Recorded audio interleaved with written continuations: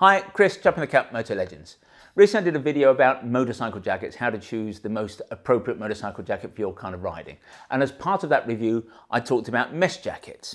And it may be that I came across as a little bit dismissive about mesh as a genre. That wasn't really my intention, but I still take the view that for most bikers who are riding only here in the UK, a mesh jacket is not particularly necessary. It would be a bit of an indulgence. I, for example, have been riding for over 30 years and never in the UK have I felt a need to wear a mesh jacket. Now, that may be just me. I'm, I don't like riding in the cold. I don't like getting cold. And I'm always mindful about how a mesh jacket, once the sun has gone out of the sky, it can just be very cold because the cold air, the wind chill effect, there's nothing to get in the way of that wind. You're going to get very cold in a mesh jacket.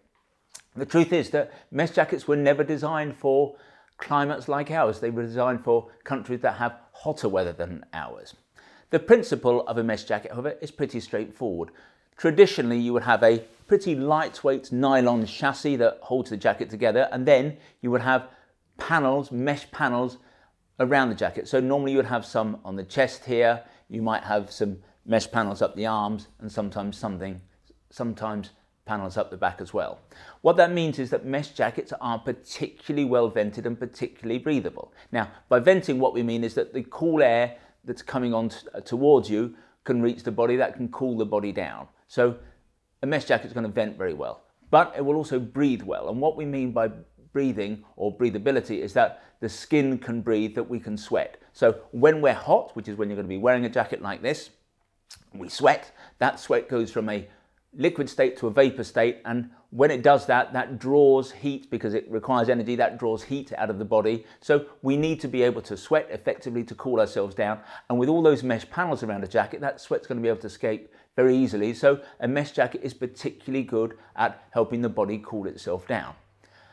Historically, however, we have had, or I have had, some concerns about the protective qualities of mesh jackets. I think less so now since the new standard EN 17092 has come into play. We now know that there is a minimum standard. You won't find many mesh jackets exceeding that basic A standard, but before the standard came in, I think some mesh jackets were very poorly put together. And my fear was always that if you ever hit the deck, they would just fall apart. So not so much the case these days, but it still has to be acknowledged that a mesh jacket is not going to be at the forefront or at the pinnacle when it comes to its protective qualities. And if I knew I was going to come off on the motorway tomorrow at 70 miles an hour, the last thing I would want to be wearing, frankly, is a mesh jacket. So, where do we stand on mesh? Well, they perform a function. And as long as you can accept that it performs that function within fairly narrow parameters, we have no problem with mesh jackets. So what we're going to go on and do now, we're going to look at five of the mesh jackets we offer and we'll compare and contrast and come up with some views.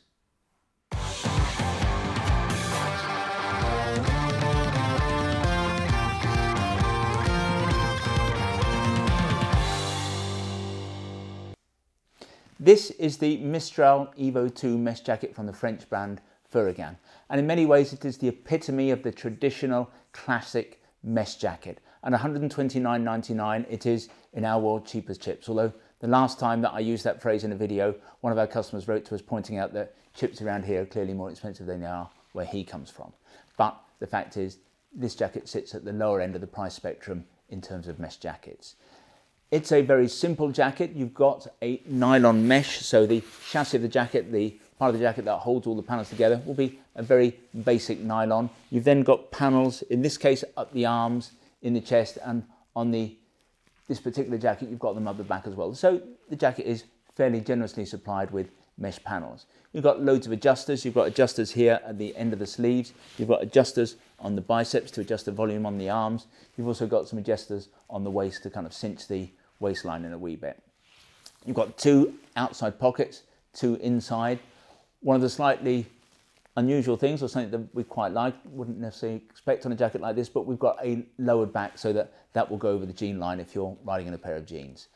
Jacket comes supplied with D3O armour as standard in the shoulders and the elbows. Furygan only work with D3O, so that's absolutely what we would expect. There's a pocket in the back for a back protector, doesn't come as standard. So as I've said, this is a pretty basic jacket. It is lightweight, it's going to help you stay cool. It's got no real bells and whistles. It is ironically in our view, prepared for an airbag vest. Now, that's again a bit of a Furygan thing, but for us, an airbag vest combined with a mesh jacket, that just makes no sense at all. If you are really bothered about safety, you don't buy a mesh jacket.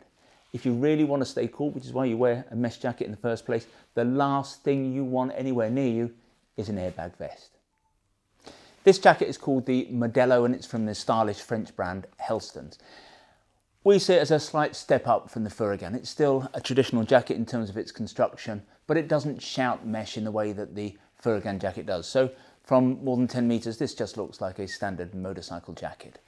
It's like the Furygan, it's got to be said in many ways, but it's a more substantial jacket. The mesh is thicker and stronger, and on this jacket, there's a mesh on the inside and then another layer on the outside, so it's a double mesh lining. You've actually got an anti-abrasion lining in between. That's going to, I think, potentially impede the flow of air a little bit. I think this is still going to be a very breathable jacket, but it's just, it makes for a more substantial jacket. But like the Furygan, you've got the nylon chassis. It's a much heavier nylon, so again, more abrasion resistant. In terms of facilities, you've got four external pockets, two up here, two down here. You've got three on the inside. You've got adjusters, zip and adjusters on the cuff, and also on the hem. In terms of armour, it comes not with D3O, it comes with a continental form or continental version of D3O, so it's still a very soft armour, but it comes as standard in the elbows and the shoulders. But like many Helstons jackets, this also comes with a back protector. So we like the Modelo. If we were going for this kind of jacket, I think we would be tempted to go for the Modelo rather than the Furygan. The Furygan just feels a little bit skimpy as though it was designed to hit a price point. The Helstons doesn't to anywhere near the same degree. And if we were being rude, and let's face it, we're often rude, we would say that the Furygan shouts scooter, this shouts motorcycle. You're going to pay a little bit more for the extra heft of this jacket.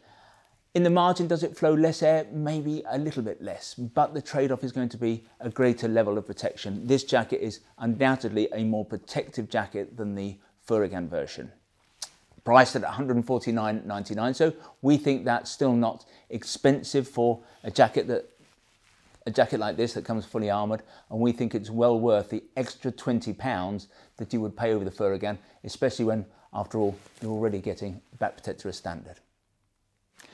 This is the Temple jacket from the British brand Belstaff. It would seem that you can't really have a conversation about Belstaff or talk about Belstaff without the subject of pricing coming up. And that's because most people, when you mention the name Belstaff, imagine that prices are going to be through the roof. And in truth, you're not necessarily going to be wrong. For example, this jacket, the Temple, costs £275. And even we think for a basic mesh jacket, and this is functionally in the way it's put together, this is very much a basic jacket. Even we think £275 is a lot of money to pay. But it's often said that you simply cannot put the words bell Belstaff and value in the same sentence. Nobody buys bell Belstaff because it's cheap or because it represents great value. Bell Belstaff represents, it is the epitome of motorcycle chic. It just doesn't get, in this particular world, in the motorcycle world, it doesn't get cooler, it doesn't get more stylish than Belstaff. Now, some people hate Belstaff because they perceive it as being overpriced for not offering anywhere near as much functionality for the money as other brands. But what you have to understand is almost that exclusivity, the fact that not everybody wants Belstaff, perhaps not everybody can afford Belstaff, it's that that partly makes Belstaff attractive to some people. What I think is beyond doubt is that Belstaff do make some very special guide gear. Their designers just have a better eye. They use more exotic materials. Their cut is nicer. Their stuff is always beautiful to wear. There are many people copy Belstaff, but it sounds easy. It sounds though anyone should be able to do it. But whenever one whenever anyone tries to copy Belstaff, they don't quite get it right. A Belstaff lookalike doesn't feel, doesn't wear like a Belstaff. And in that respect, the Temple is exquisitely styled. We've got the same patch pockets up here that you get on the Mojave. We've got an extra two pockets down here. But just looking at this jacket, it doesn't look like a mesh jacket. It just looks like a, a very stylish, lightweight jacket. In addition, on the pockets, you've got another one on the inside. You've got poppers here on the sleeves, poppers at the side of the waist to cinch the waist in a wee bit. Thoughtfully, they're covered with rubber, so there's no chance that you're going to scratch the tank of your bike. You've got zips by YKK, Belstaff don't work with anyone else. But actually, on that subject of not working with other people, what is really annoying us at present about Bell Belstaff is their propensity to cut corners to cheap out where they can. And we just don't find that acceptable when you are pricing your gear at a premium level. In this particular case, we're thinking about the armour. Now, D3O would be the armour of choice for a jacket like this. Belstaff work with D3O, so we cannot understand why they wouldn't have put the latest Ghost armour in this. Ghost armour gets a little bit lost if you've got a heavy leather jacket, but if you've got a lightweight jacket, you can feel the armour, and to put Ghost in a lightweight jacket is just the way forward. But instead of doing that, they put this rather nasty, rather cheap, very ordinary armour in, and it just doesn't belong in a jacket like this. So that's upsetting, but anyway, I'll try and get over it.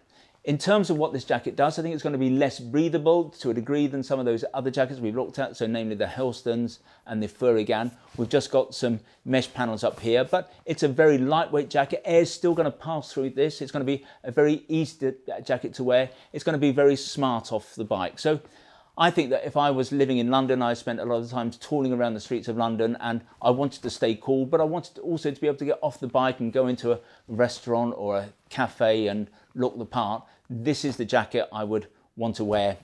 Price, be damned. A couple of years ago, the Finnish brand Rukka came out with a new mesh jacket called the Forsair. This jacket, the Forsair Pro, is basically an evolution of that jacket, same in terms of concept, but a slightly nicer fit. Now, when Rukka first brought out that jacket, the Forsair, it marked a significant step up in terms of mesh technology for a number of reasons. But at the heart of that and the heart of this jacket is the fact that it's made from a material called Cordura AFT. AFT standing for Airflow Technology. The material, the base material that forms this, or the base Cordura that forms this material is a 650 denier Cordura. That's a perfectly respectable weight of yarn. There are many motorcycle jackets out on the market that are made from 500 denier Cordura, 400 denier Cordura. So this starts off from a strong point. It is a strong material. But the secret with AFT Cordura is that it's knitted rather than being woven. I don't know of any other motorcycle jacket that is not woven. That's the way most garments are put together. But when you knit the Cordura, you create more spaces between the yarn, as it were. So this jacket flows much more air than most garments. And in fact, Rukka say that almost twice as much air will flow through this jacket than would be the case were it woven. Yet the knitting doesn't in any way or significantly reduce the strength of the jacket. So the secret of the Forsair Pro is that this garment is 100% made from Cordura AFT.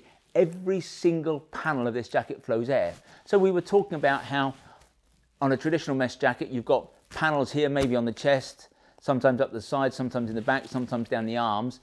But this jacket, the whole jacket is made from Cordura AFT, so every single panel flows air. The only area that flows less air perhaps is here on the elbows, here on the shoulders. There's a double layer of Cordura AFT for extra protection, so that's going to impede, impede the flow of air a little bit, but the basic principle is the same. There is no jacket on the market that's going to flow anywhere near as much jacket, as much air, excuse me, as this jacket. Yet, at the same time, this is so much stronger than traditional mesh. Already voiced our concerns about the weakness of traditional mesh jackets, but this is a strong material. We've seen the results of accidents that have been had by our customers in these jackets, and they have stood up incredibly well. It's a very impressive jacket from a protection standpoint. In terms of impact protectors, you've got D3O armor in the elbows and the shoulders. It's D3O armor, as you might expect. It's level 2 armor, and it's the air-rated armor, so air passes through it. There's a, a, pocket at the back of the jacket that's going to take a D3O protector. Doesn't come as standard. Looking at some of the features, we've got zip pockets here. We've got Velcro adjuster at the waist. We don't have adjusters at the sleeve other than zips. Because this jacket is going to be completely useless as far as waterproofing is concerned, in one of the pockets you've got a waterproof uh, pouch into which you might put something like a phone if you're riding and obviously it's raining. You get a crotch strap that comes underneath the jacket and connects under here if you're someone who wants to be, or if you're someone who's a little cautious, you want to avoid a situation where if you come off the jacket rides up, that crotch strap will make sure the jacket cannot move. Because this is a Rukka, it also interestingly comes with a full length zip. And that's interesting because this jacket, we sell a lot of these jackets to the guys who ride from here, Guildford or south of Guildford, all the way into the city or the West End every day. They will have often a Rukka suit for the winter to keep them warm and dry. But on those days when the temperatures are in the upper 20s, it can be unbearably hot if you're commuting through the centre of London. So what those guys do, they will swap their laminated jacket for one of these on those hot days, but they still like the security of zipping in. So they just put this jacket on, zip it in in the normal manner. They're going to be much cooler, but obviously if they come off um, on the A3 as they're doing 70 miles an hour, this jacket's going to stay in place. The fact that this jacket will zip into a Rukka trouser means coincidentally that it's going to zip also into any Halvarssons trouser. But interestingly, if you acquire one of these, buy one of these, this is called the waist zip. It comes from Halvarssons. It's a 20 pound item. You weave that in and out of your belt loops on your jean. And what it means is that if you want to, in the summer, wear a mesh jacket and a pair of jeans and a pair of jeans, a pair of single layer jeans is a lovely thing to wear in the summer. You can be connected again for that extra level of security.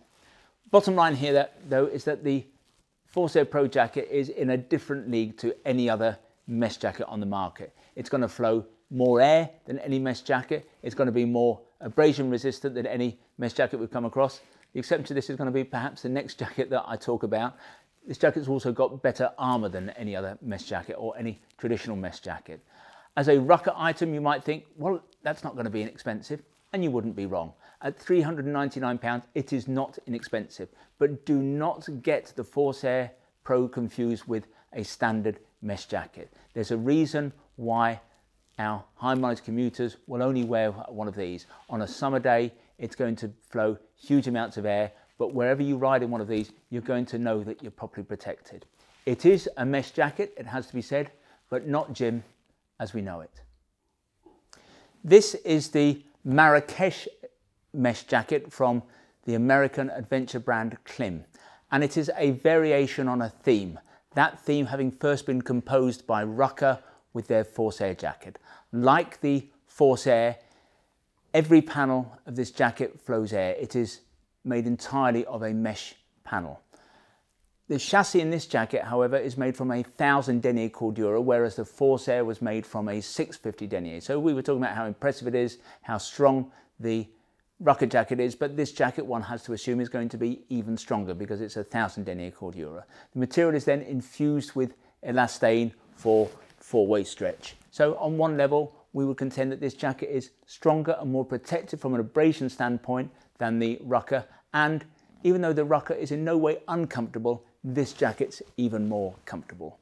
Our view is that this is probably the most comfortable motorcycle jacket you will ever ride in. Not suggesting that you could ride in all conditions in this jacket, but we're going to come back and talk about that later. But as a jacket on a warm day, this is just a beautiful thing to ride in. In the margin, it would have to be acknowledged that the Rukka still flows more air because the material in the Rukka, that Cordura AFT, that was knitted rather than woven. So this is loosely woven, but the Rukka, I think, would flow more air. But if we counter that, I think this is going to be probably the second most air flowing jacket on the market. But in comparison with the Rukka, this is more stylish. I think it's more comfortable. And from an abrasion perspective, it is more protective. If we look at some of the details, we've got four pockets on the outside, two here, two here. We've got adjusters here on the forearms with zips to enable you to get your gloves in and out. The jacket actually has a waterproof coating and Klim make a big deal of this. I personally wouldn't take that too seriously. It'll just be a DWR, it'll be a coating that's going to wash off over time. And in a jacket that is loosely woven to allow air to flow through it, such a jacket cannot be particularly waterproof. So I would not take the waterproof claim about this jacket too seriously. Might give you 20 minutes, maximum half an hour in the rain before you started to feel wet. But you're going to have to renew that coating every time you wash it. So you would wash it and reproof it you're going to get a little bit of water protection, but not to any great extent. You've got some black Scotchlite material here. You've got a little bit on the back of the jacket as well, so it gives you a bit of visibility at night. In terms of impact protectors, we've got a full suite of D3O armour in this jacket, whereas on the Rukka we only had it in the elbows and the shoulders. On the Klim we've got it in the elbows, the shoulders and the back. It is vented D3O, so the same as Rukka in that respect. But in this jacket, it is level one, whereas in the Rukka, it's level two. I think where the Marrakesh differs, it's a, almost a philosophy difference. Klim comes from an off-road adventure world, so this jacket has been designed for wearing off-road. However, we've developed a real liking for this jacket for wearing on-road, and I'm going to come back and talk about that because wherever it came from, and you can tell it's a bit more off-roady. It sits a little bit longer than any of the other jackets, so that's definitely where it's come from, but it still makes for a lovely road riding jacket.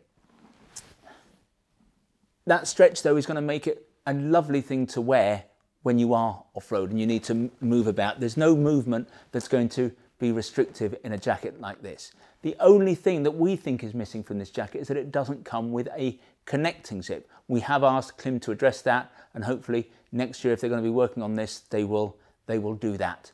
We often add a connecting zip in here. We have our people can put a connecting zip that will enable us to connect this jacket to any Rukka pant, to any Halvarssons pant, but also using that waist zip. You can wear this with a pair of jeans, which as we've mentioned with the Rukka is a lovely way to ride on in hot weather. You've got this on top, you've got a pair of single layer jeans beneath. It's going to be about the coolest way you can ride. In terms of price, this jacket costs £370. Now that's pretty close to the Forsair, but the Forsair doesn't come with a back protector. If you added a back protector, you're going to be £100 more expensive than this.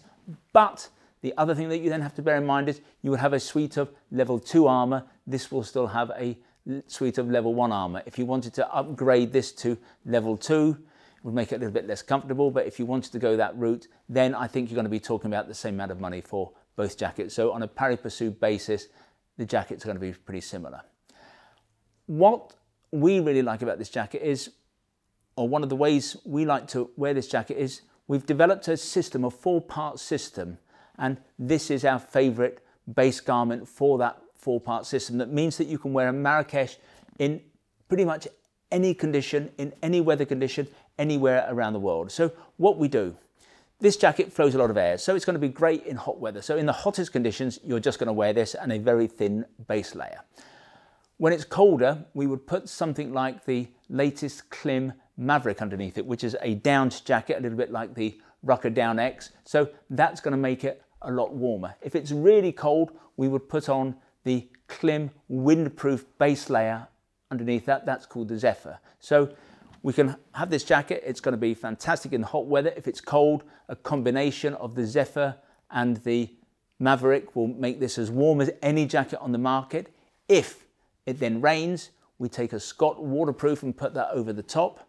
And with those four elements, the Marrakesh, the Maverick, the Zephyr and the Scott, you have a combination of garments that will look after you in absolutely any condition you might consider riding in.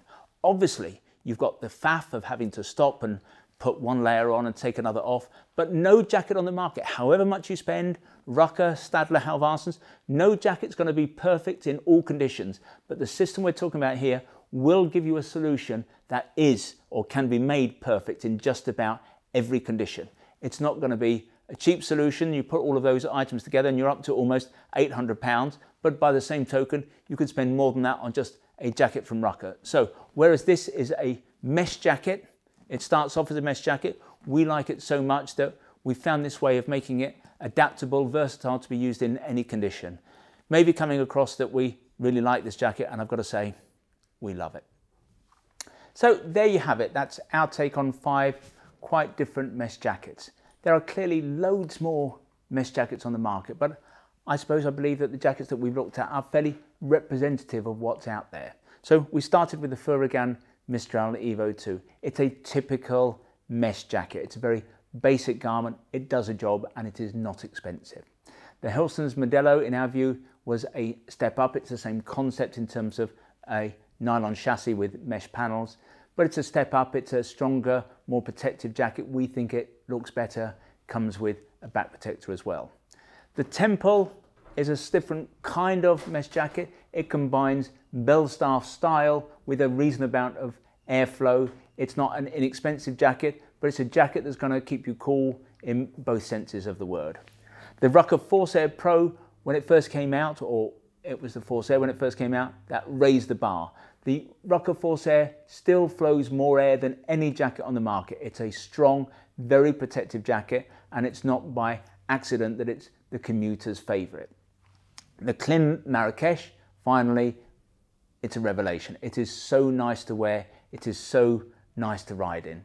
The Rukka may flow a little bit more air, but in other respects, we would suggest that it is trumped by the Klim. When we're going somewhere hot, the Marrakesh is the jacket that we choose, and as a base garment for our four-part system, we think it's the perfect starting point. So much as we try to be objective when we do these reviews, we find it quite difficult. In this particular instance, we love the Marrakesh. We simply think it's brilliant. If you'd like to see our entire collection of mesh jackets, then visit the website motolegends.com. If you'd like to learn more about the five that we've been talking about today, Graham has put a page together of those. So if you click on one of the links on screen, sometimes they're up there, sometimes they're down there, that will take you to those five particular mesh jackets. Now, once you're there, you can check out the spec in a little bit more detail. You can check availability, and obviously if you want to buy one of those jackets, you can do that there and then. When you do buy from us, we try to make the process simple, straightforward and risk-free as we possibly can. There's no delivery charge on any item of protected wear that you buy from us. Returns are totally free. And once more, we give you a full 12 months in which to decide whether you do want to return some, something to us. We have the best price promise in the business. Now, John Lewis was rightly famed for its never knowingly undersold price promise. We go one stage better. If you can find one of our competitors selling anything that we sell at a price that is lower than ours, we will beat that competitor's price by a full 10%. There are a few terms and conditions, nothing particularly onerous, but if you are going to price beat us, we suggest you visit the website and check out what those terms and conditions are. In the future, if you'd like to receive bulletins from us about new products, then if you go to the website, at the top of every page, there's a piece of script that says newsletter sign up. Click on there, within seconds you'll be in business. In future, you'll receive our bulletins. If, however, you prefer to get your information videographically, that is to say in this form, we would be simply delighted if you want to become a subscriber to our YouTube channel, and you can do that by clicking on the button below. Now this is 2021. Last year, 2020, we gave away to one of our YouTube subscribers a Mutt 125cc machine. We had messed about with it, made it look a little bit like a Steve McQueen Scrambler. This year we've gone a little bit more upmarket. We're going to be giving away a 250cc Fantic Caballero Scrambler. But we are not going to be giving it away to somebody who follows us on YouTube. We're going to be giving it to somebody who follows us on Facebook. So if you want to stand a chance of winning this bike, and we're going to be giving it away just before Christmas this year, then go over to Facebook and obviously follow us. I'd like to finish with a little play for our fabulous shop here at Motolegends. We're based about a mile from the centre of Guildford, a mile from the railway station, and the shop is small. It's got a small footprint, but it's attached to a warehouse where we've got more than £2 million worth of stock arranged over three floors. That technically means that this is the second largest motorcycle apparel shop in the UK. But we think that we are far more than just the amount of merchandise we have here in the building. We're all about service, we're all about personal fitting. If you want to check us out, visit Trustpilot. We've got the highest five-star ranking in the business. When you come and see us, we'll serve you only the finest Italian illy coffee, or we'll serve you proper Yorkshire tea in a proper teapot. And who knows, if you're lucky, you might even get to sample one of our delicious motorcycle-shaped shortbread biscuits. Anyway, this has been Chris. I hope to talk to you again soon.